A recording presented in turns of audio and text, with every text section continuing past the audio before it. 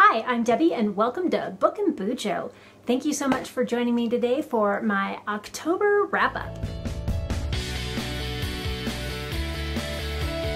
To start with, I'm going to open a couple days of my 24 days of tea from Adagio Tea Advent Calendar. So you already saw me open day one, which is reindeer fuel. And this one is delicious. I've actually have a full size bag of this one. It's black tea, ginger, peppermint leaves, toasted mate, which is high in caffeine, as is the black tea, uh, cocoa nibs, natural chocolate flavor. Super yummy. One of my favorites, especially for the holiday season. That peppermint is just so refreshing. I love it. All right, so let's go down to day number two. Excuse my nails, I have not gotten them fixed yet. Uh, so day number two, we have, I can pull it out here. We have pumpkin spice. This one is one of my husband's favorites. So it's got black tea, cinnamon, ginger, cloves, natural pumpkin spice flavor, cardamom, and marigold flowers. So hubby does like that one, and it is a good pumpkin spice flavor. All right, so this is going up on December 4th, so we'll open four of the days. You'll get to see up to date anyway. So day number three.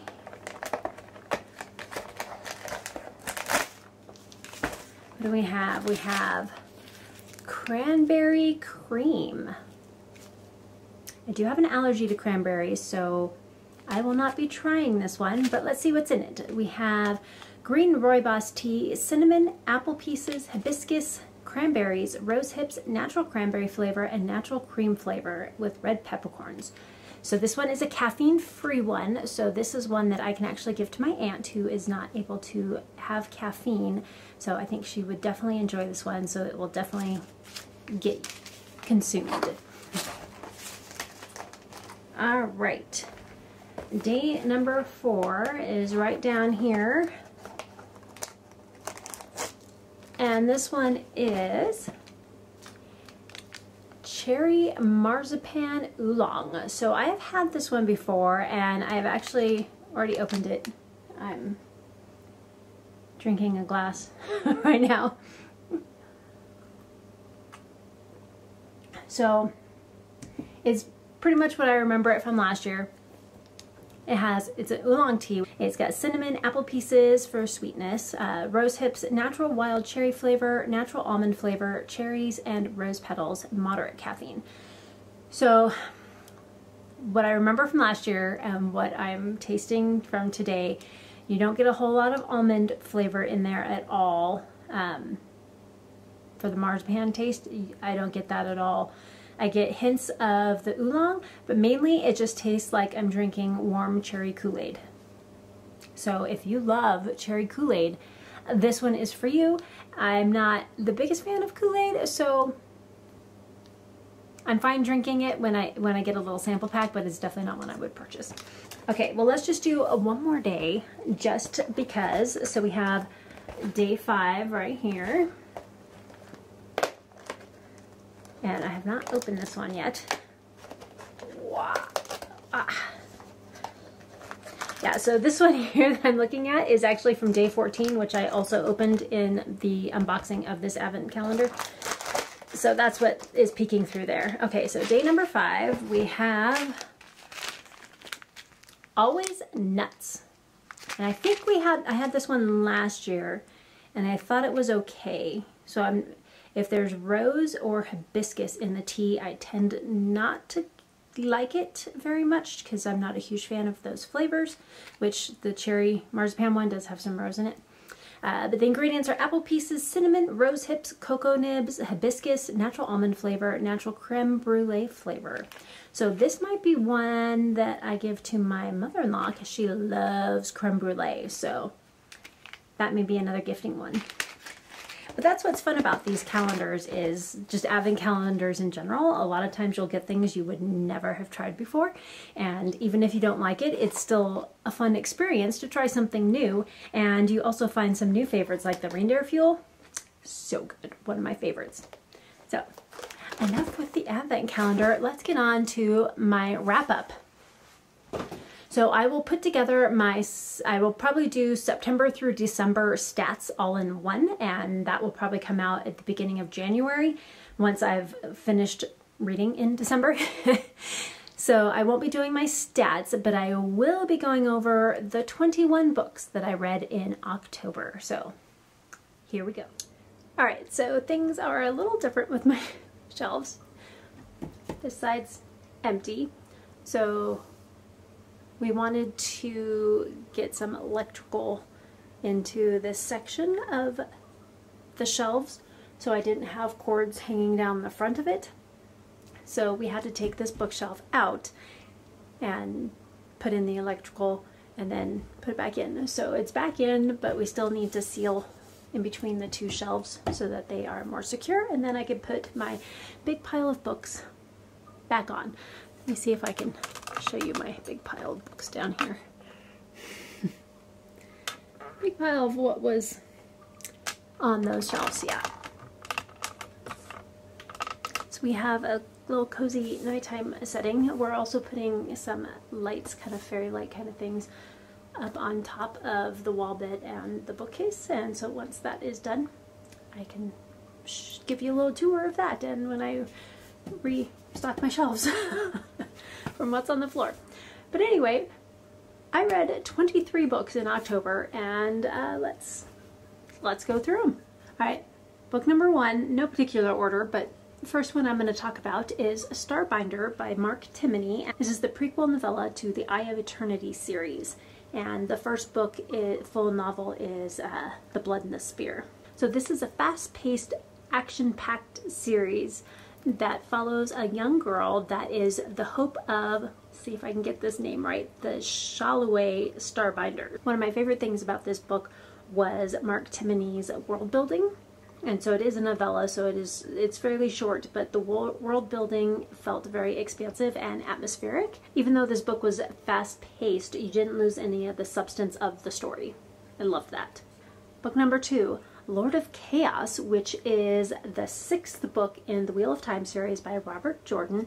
And I have to say, I think this is my favorite book so far. It was thrilling, it had a lot of action in it, and it continues to build up the characters and build upon where they were in the previous books and continue with that character building and the growth and the bonding of all of the different characters that they interact with.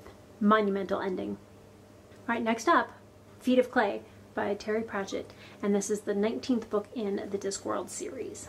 A werewolf, a dwarf, and a golem all walk down the city streets in Ankh-Morpork. Thought it was a joke, huh? Seriously though, the book was so much fun. We follow Commander Vimes, of course, the commander of the City Watch, as he figures out the who and the how of the crime that he is investigating. I think this was a great spoopy book to have for the spooky season of October. It was full of fun and mystery without being overly scary, which I appreciate. And I love how Terry Pratchett can combine humor and philosophical musings uh, and create a nice balanced experience for the reader. And of course, we have to follow up Feet of Clay with Hogfather, which is the 20th book in the Discworld series by Terry Pratchett. And of course, this is all about the holiday season. Festive and fun-filled with humor and mystery and great characters. Of course, some of my favorites are in there. Gotta love Death's character. I love the cameos he has in the majority of the books. Super fun. Do you believe in the Hogfather? Or do you not? Some do, some don't. But what would happen if no one believed? Would he still exist? I mean, who needs the night before Christmas when you can read Hogfather instead? All right, next up is Primitive by Mark Nykanen. And for some reason, my Kindle copy does not have the cover of the book, so I will put the cover of the book up here while I talk about it. So I had a lot of mixed feelings about this book.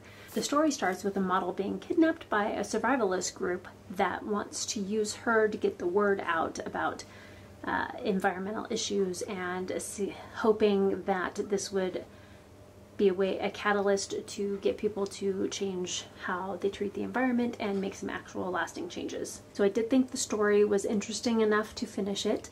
Uh, I thought some of the characters were interesting and um, fleshed out fairly well. You actually got to kind of know who they were, but overall the story was a little far-fetched. It was had some parts that were a little out there like the release of all these all this methane gas is going to bring back the dinosaurs. Like there were some things that were just like, hmm, not sure about that. But of course, I do not know. I'm not a scientist, so I do not know the science behind all of these things. It could be accurate. It may not be. I don't know. I can't speak to that. It just sounded a little far-fetched for me. I also felt that at times the author was pushing an agenda. Like I felt like I was being preached at a little bit which is fine, but I was reading more for entertainment and not to be judged. So, and do with it what you would like. there are many, many, many trigger warnings for this book, so make sure that you go into it uh, look, having looked at those if there are, if you know you have some triggers. So lots of triggers. There's lots of death, there's um, hints of abuse and other things like that. There's, there's just, there's a lot in here. Check those out. Next up was The Library of the Dead by T.L. Huchu, and this is a gothic horror where Ropa, the main character, can speak to the dead. So she makes her living off of the dead, basically. She delivers messages from the dead to their living family and also finds the the living families may have questions that then she asks of the dead and either way she gets some form of payment from the families that are still living, of course.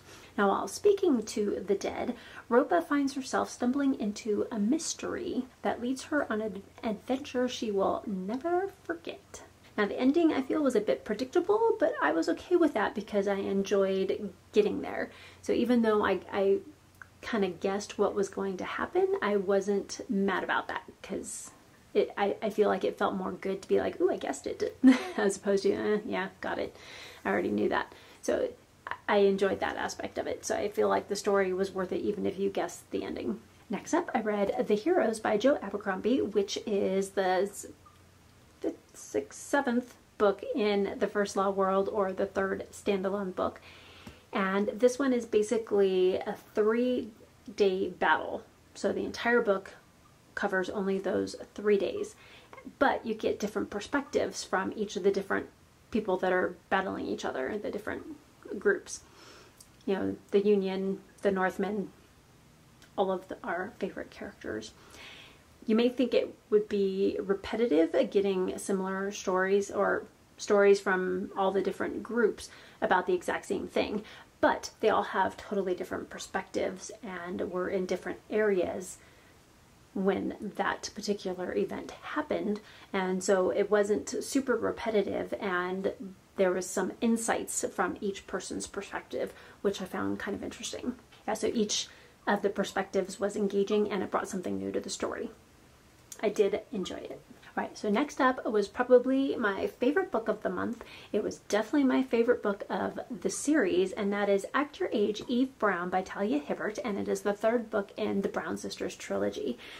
And I think one of the reasons I liked it so much is because I could relate to Eve so much more than I could to Chloe or Dani. I've always been into music and into cooking and baking and all of that. I'm also, I I was also a very spastic child, so I could not focus on anything. I was able to relate to Eve Brown quite a bit. And I loved that they had the reps that they did in this story. I just thought it was done really well and it was beautiful. The romance was believable between Eve and Jacob, and I loved all the side characters. They were so much fun. So Jacob's friend and his the friend's twin sisters, and it was just so much fun all around. I loved the dynamics between the characters, the interactions, and kind of that somewhat enemies to lovers in there. It was just so much fun. The writing style was super easy to read. It was very well written and just had me laughing out loud. Thoroughly enjoyed it, start to finish. I would probably purchase just this one book of the series just to reread it again and again and again because it, I enjoyed it so much and the audiobook was great. Love it. Highly, highly, highly recommend. The next book was, I would say, a little over my head. Not too bad. Like I, I understood it, but it was it doesn't apply as much to my life. I think I think so the book was for the J&R Book Club with Jashii Corrin and the book is How to Take Smart Notes by Sönke Ahrens. And I feel that this book is mainly for students, especially like PhD type students um, or even masters or researchers, so especially in the research field if you want to publish papers, uh, writers, journalists, that type of student and professional. I just think that just the regular person on the street would get something out of this, but it wouldn't apply to their life quite as much as it would to that other group, you know, writers and researchers and higher education students. I do think if I had read this when I was a student, it would have helped me out a lot, although I'm it would have really gone over my head at that point in time because again, couldn't focus and so I don't know if I would have been able to pay attention enough to put this into practice but it is very good information. It was uh, very easy to read. The writing style was great, and I am glad that I got to read it for the book club. And if you want to check out my Goodreads, I will leave the link down below. I will have a little bit longer review for you on that. So next up is The Chain of Thorns, which is the third and final book in the Last Hours trilogy by Cassandra Clare. And she did not disappoint with this one. There was a lot of action, character building, and it provides a very satisfying conclusion to not only the story, but also to the trilogy itself. Although I do have to say, I still like the side characters a little bit more than the main characters. Now, don't get me wrong, I did love the main characters. I do like Cordelia and James, but Anna and Matt and Lucy, like, how can you not like that whole gang? Like, Thomas, Alastair, all the side characters I think are just as important as the main characters in this particular trilogy. Although overall, I tend to like the side characters a little bit more in her stories. Like I always liked Isabelle and Simon more than Jace and Clary. But let's move on. so next up was Holy Sister, and this is the third and final book in the Book of the Ancestor by Mark Lawrence. So go me! I finished three different series this in October, which is awesome. Pat on the back for me for that one. I was very excited for that. And I, I continued series as well. I, I started some, but I continued and I smashed three different series out. So very happy about that. So I did think Holy Sister was the best book in the series. I loved how everything came together from all the plot points and storylines and characters and everything came together from the first two books and had a nice conclusion into this one. I liked watching all the storylines kind of converge and come together to a big finale. I also enjoyed watching Nona Grey grow throughout the series. As she grew older, she also had character growth and character building and bonding with other characters, and I loved to see that.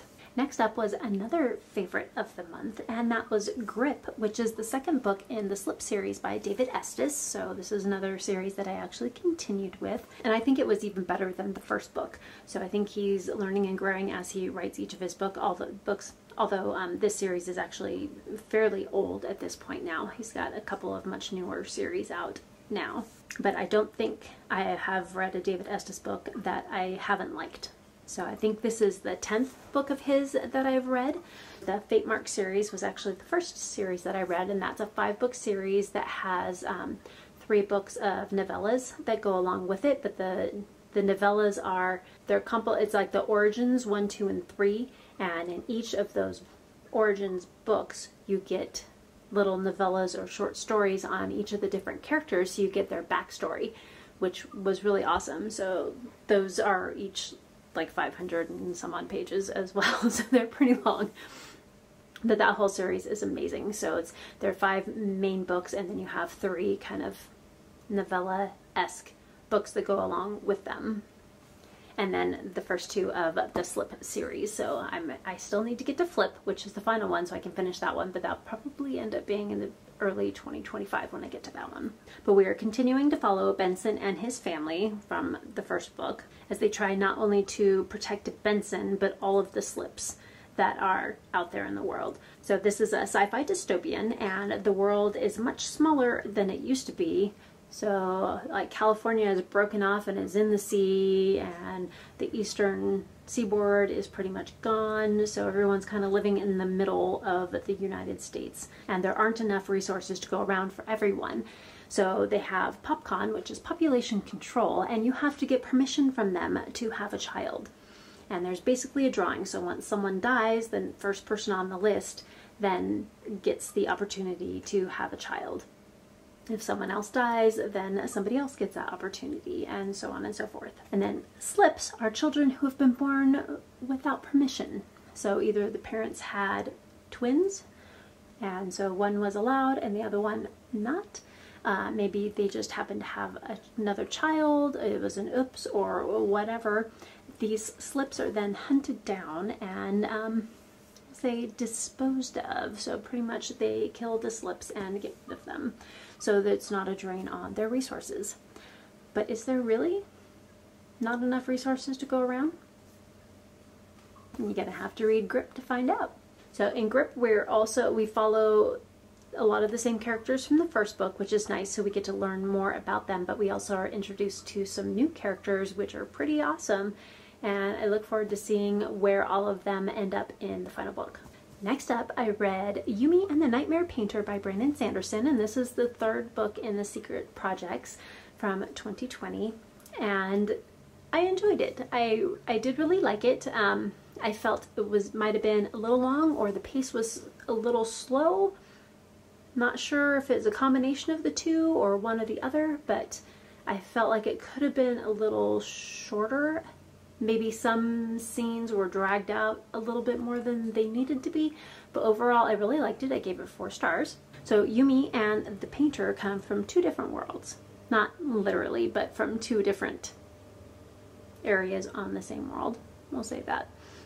and they have now somewhat come together and they need to learn how to work together to defeat the nightmares that are taking over and plaguing both their worlds in some way or another. I really did like the characters and I liked getting to know them as or watching them as they got to know each other. I also liked watching the or reading about their the character growth throughout the book as well as just watching them grow as people. The magic system I think is really interesting, especially the whole nightmare painter side was really fun. But again, I do felt feel like it was just a little bit long. And then continuing on with Brandon Sanderson, I also did a reread of Mistborn Era 1, The Final Empire, and that was, again, a five-star read. I still thoroughly enjoyed it, and I am looking forward to finishing uh, The Well of Ascension and their Hero of Ages by the end of the year. And then I also read The Sunlit Man, which was the secret project number four, and I do have to say I really like this one. So I think Tress of the Emerald Sea was probably my favorite, and then The Sunlit Man. And I did actually really enjoy the Frugal Wizard's Handbook to Medieval, medieval England, but I had heard so many people's disappointment about that book, so my expectations were super low. If you go into it knowing it's written for adults, but more as a, like a middle grade book for adults, middle grade book for adults, if that makes any sense, it's much more enjoyable. So just think of it as middle grade. You'll enjoy it more. but the Sunlit Man, we're back in the Cosmere. So Yumi and the Nightmare Painter is also takes place in the Cosmere and it is narrated by Hoid, which was fun. And then the Sunlit Man is also part of the Cosmere and you'll recognize a lot more of the names. The main character is also in the Stormlight Archive, so that is fun. So you'll you'll enjoy this one. He as especially since Brandon Sanderson is back to his fantasy roots, which is really where he shines. But I, I love that he's branching out and trying new things and trying to grow as an author because I think just think that's great. And then moving on to a Leigh Bardugo book, I read The Language of Thorns, and this is an anthology of fairy tales from the Grishaverse, and it's children's fairy tales. So these are tales that would be told to the children of the Grisha and the Zemeni and the Fjerdans and all of them. I thought it was very creative and very interesting. I don't necessarily think it's a must read for the Grishaverse universe. I don't think you need to read it to understand anything else in any of the main books, and I don't think it necessarily adds to it overall. But some of these stories are mentioned in the main series, so it's kind of fun to know what the story is and give you a little bit of context. So the artwork is amazing. Sara Kipin is the artist that did all of the illustrations, and it's a progressive illustration that goes throughout each story. So, like on page one, there's like one thing on there, and then page two, that one's there, but there's something added to it. Page three, something else added. Page four, something else added. So, each time you turn a page, there's something new on that page that's being added to the whole general picture that's going to show up. So by the end of the story, you have this beautiful outline around or border around the whole page of the stories, and it's is just beautiful and I think it just adds so much to the story itself because the artwork's all about the stuff that's happening in the story and it's illustrated there for you and it, it just added so much to the atmosphere and everything for the story. I, I bumped it up a full star just for the artwork. So next up is The Vampyre A Tale, and this is by John William Polidori. I thought this story was so atmospheric, like you get that, that gothic horror feel to it, and it's a short yet haunting tale that was actually fairly easy to read, especially for a classic. The atmosphere sets this wonderfully gothic mood and the subtlety of the plot is engaging. Not necessarily the best writing style in terms of prose. It's the not the most elegant or flowery or any of that, but the story itself is very engaging and worth the read. And the story behind the book itself is actually quite interesting.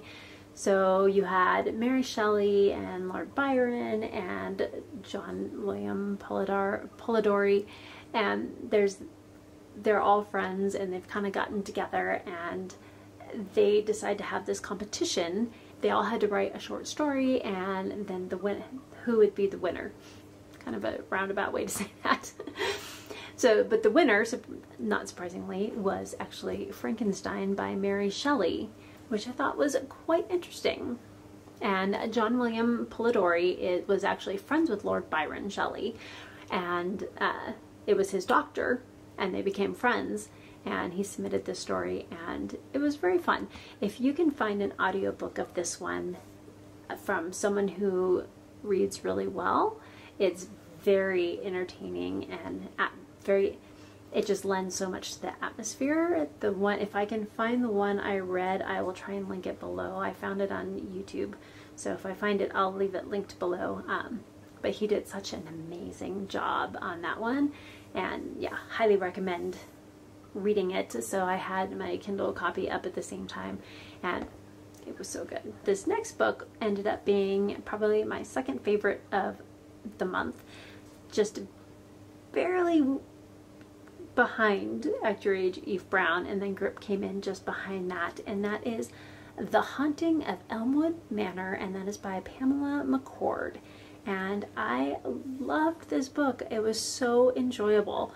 So this one is a spooky book. So that is a spooky season book that is not scary. So it kind of sets you in the atmosphere with the Halloween season, but without making you scared and your adrenaline go and stress you out and whatever else. So this was just super fun. It's a middle grade book. So the main character is Pekin Dulap, and of course she knows all of the Peking duck jokes because her name is Peking, but without the G. And then her two best friends, they're all in high school, but Pekin can, can see ghosts. So apparently this is something her mom was able to do as a kid as well. And she has decided she's going to start a Ghostbusters kind of business. So her first client owns Elmwood Manor and she would like to sell this house, but she can't because it's haunted. And she needs someone to get rid of the ghost so she can sell this house. I enjoyed the characters and their dynamics together. Of course, they're high schoolers, so you have that kind of dynamic going on just as three kids in high school. yet it is written more for middle graders. And the atmosphere is so good. It puts you right in that kind of spoopy mood. Although there is some scary parts in the book, like scary, they're not like horror movie kind of scary, but they can be a little, make you a little nervous and there are a couple of trigger warnings in here for abuse so just be aware of that before you go into it. But I would highly recommend this to any middle grader and even a young adult that just wants a fun quick and easy read that's highly entertaining. I gave it five stars. So next up was actually more of a spooky book and more of a witchy book but puts you in the mood for the Halloween season and that is Slewfoot by Brom. Now, I read Krampus a couple years ago by Brom, and I loved that. That was one of my favorite Christmas stories that I read that year. And so I was very excited to find Slewfoot and give that one a try, and I thoroughly enjoyed it. It is a tale of magic and mystery, full of the atmosphere that only Brom can write. So we're set in colonial England, and this is the time of the Puritans. We meet Abitha, who is betrothed to a stranger in this Puritan colony. And she finds herself even more alone now in this pious community when her husband dies and she is left a widower. And she now must try and make make it on her own. And she's fighting for any small bit of freedom that she can get in this community who doesn't really want her there. And she doesn't want to lose who she is and try and fit in just for the sake of fitting in. So she wants to be who she is and try and take as much freedom as she can to be able to stay who she truly is as a person. Slewfoot is a powerful spirit that has lost his identity. He's not really sure who he is anymore, and as he's trying to find who he is, him and Abitha find each other, and she is as she is trying to stay who she is and find her place in the world and together they do what they must so that they can survive in this world that is intent on killing their spirit. Truly, the atmosphere in this book was amazing. So good. Definitely trigger warnings again. of course, it's the Halloween spooky season. There's always going to be trigger warnings. All right, getting close to the end. The last four books, which are all basically think of them as cheesy 80s slasher movies in book form. were so much fun. These ones are all spooky books that, of course, are more like the 80s horror movies like Halloween and Friday the 13th and those kind of slasher movies. Scream from the 90s, that kind of style. So the cover on this book is just scary in and of itself, but we start with The Christmas Morning Massacre, and this is by Nasser Robdi, Robdi Rabadi, Nasser Rabadi, and it is the Ravenhill Butcher Book 1. So in this one we follow a brother and sister who are staying at their family's kind of vacation home, and the sister is having a bunch of friends from college over to spend the, the Christmas holiday together. Basically just drinking, watching movies, listening to music, partying, that kind of thing with just their small little group. Well, the first day there's this huge blizzard and they are now snowed into the house, which of course is fine if they're just going to be drinking and watching movies. Not a big deal. But they did notice that on the first day that the back door was open and there was these like wet footprints going through part of the house. And they were like, oh, must just be the brother. He had to go get something out of the car or whatever. He just forgot to close the front door or the back door. So, well, hmm. let's just say it wasn't the brother. Will any of them survive? It's a good question. It was highly entertaining, cheesy, but interesting. Atmospheric. Definitely had an atmosphere all its own and the nice uh, scare factor like don't go in the basement why are you going in the basement you know when you yell at the movies and you're, you're like don't do that he's down there that's the feel of this book as well it was it was great. You gotta love finding those random free Kindle books that end up being highly entertaining. and then of course I had to follow it up with the Ravenhill Butcher book 2. And this one is set in the 80s. And that is Return to Camp Sulgahatchia and again by Nasser Rabadi. And again, it's the great slasher movies. Uh, it's past my bedtime. let's keep going. Getting sleepy. It's all good. So again, set in the 1980s, and we are following a group of kids that are heading back to Camp Sulgahatchia for one last time before they graduate from high school and move on to other things. And of course, it's camp, so the food is bad, but the company is great.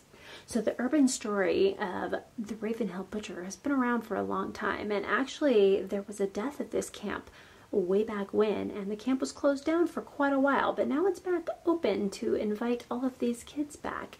And there are some strict rules where you cannot go out at night, especially by yourself, and you do not go to the cabin that is the edge of the camp. That is off limits, don't go there. And part of this urban legend is that even if you just say the Ravenhill Butcher's name, that he will come back. But what would happen if you went to his cabin and you just knocked on the door? Would he come back? Hmm.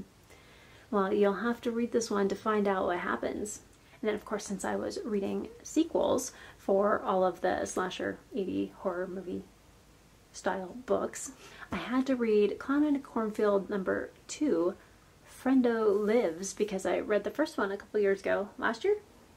Last year. Two years ago, I think.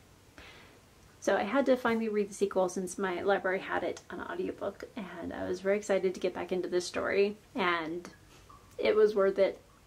It's totally cheesy, but it is super fun. Definitely part of the whole spooky Halloween atmosphere, and it was just it was fun. I yes, it's again, got its scary parts. It's definitely got some massacres going on. but it, it was just highly entertaining. And that is by Adam Cesare. Last but not least, we have Pumpkin Man. And this is Creepers Landia, and Jane is the main character. And this is by Penny Moons. And Creepers Landia, so each book in the series is kind of a different holiday or different character that you're following. So this one we're following Jane. And this one I would say is a cutesy spooky book. So it's still total slasher movie style book, but it's written in a more cutesy way, if that makes any sense at all. so the Pumpkin Man character is completely ridiculous and over the top, but in a good way. And I was surprised there's actually some character building in this book. You actually get to know some of the characters fairly well and you kind of care about what's going to happen to them or you at least want to, you're interested to see what's going to happen. And you're kind of guessing who is the pumpkin man? Like who is, who, which neighbor might it be or which person in the community is it? And is it just someone wearing a pumpkin on their head or is it actually like a, a pumpkin man? Their head really is a pumpkin. even with the character building, that doesn't mean this story is like super in depth or anything, but it is quite interesting and kept you reading. so the main character, Jane, is set to babysit for one of her neighbors for Halloween so that the mom, who is a single mom, can go out and have an enjoyable evening at a party, a little costume party that's happening in the area. And so she spends more time with people her age and have some fun. Now, the Pumpkin Man has terrorized this town on and off for quite a while, and there is one family member that the gentleman is a teacher, and he basically lost his entire family, his wife and his kids, to the Pumpkin Man, and he has never quite fully recovered. There's a police officer that was involved with thinking that they got rid of the Pumpkin Man, and so her character is in here as well. But again, they think they got rid of the Pumpkin Man, but as they found out this year, they did not. He is back. So there's a couple of characters like the elderly couple that lives across the street from the place where Jane is babysitting. The wife is awesome. I loved her character.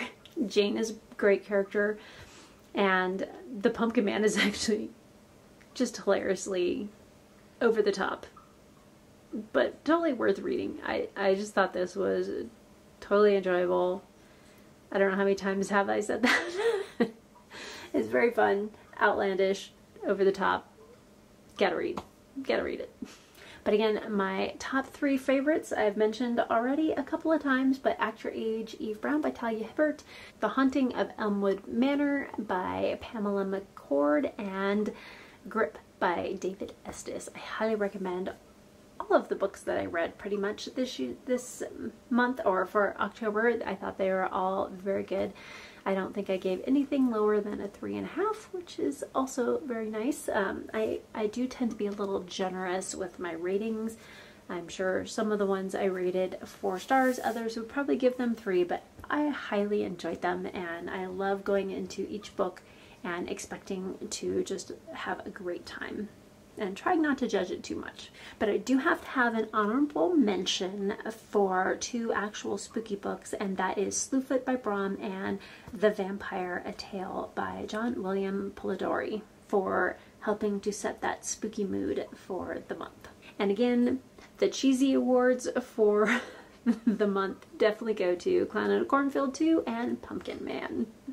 So I am going to do, like I said at the beginning, have all of my stats for Q4, well, September through December all rolled up into one video and I will put that out in January so you'll get to see everything that I read. But I did read, as I said, 23 books in October, so that was pretty good. Not one of my biggest months. I have read over 30 before, but most of those are usually fairly small. These ones um, mainly were all over 250 pages, with some of them being closer to 700. So what were your favorite spooky season reads? Did you have some good cheesy fun ones? Did you have some good slasher horror movie style books? Did you read actual scary books? Like were you reading Stephen King and some of those styles? Or are you more of a spoopy book fan that you like the, the Halloween feel without being scared? And do you not like Halloween stuff at all and you just read a whole bunch of romances and other random books. I'd love to find out. Let me know down in the comments. Thank you so much for joining me and please like, comment, and subscribe if you want it and hit that notification bell so you don't miss any videos from me. Leave a pumpkin emoji down in the comments uh, in honor of the cheesiness of the pumpkin man. And until next time, keep reading.